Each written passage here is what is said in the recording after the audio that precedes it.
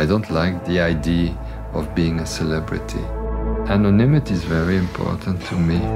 I think Margiela has been the last revolution we had in fashion.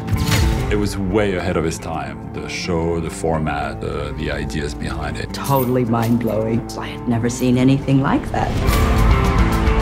Et je m'attendais à ce que ce soit bien, mais je ne m'attendais pas à que ce soit aussi bien.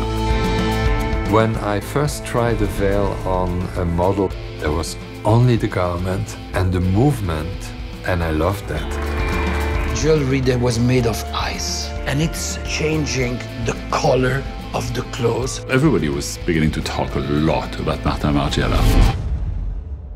We were growing very fast. There are different needs in the fashion world, and I'm not sure I can Everybody's free. We have half a century of influence. That's that's major. Anonymity for me was a protection. Qui va pouvoir réussir à le faire sortir de sa coquille? Jamais il l'a fait. Jamais il ne s'est montré. Ça, c'est une force extraordinaire. Parce que tout ce qu'on mettait de Martin était en train de démoder tout le reste. I pushed myself constantly into extremes.